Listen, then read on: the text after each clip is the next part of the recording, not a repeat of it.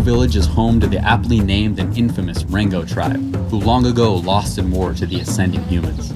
Since their defeat, the Rengot were banished to these mountain lands, where they now build weapons with primitive tools and magics.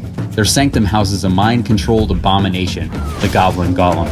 Although nowhere near as large as they once were, the Rengot tribe is still a force to be reckoned with. As the Rengot still clutch to faraway defeats and their unending hate for humans, most adventurers would be wise to stay away from Rengot Village.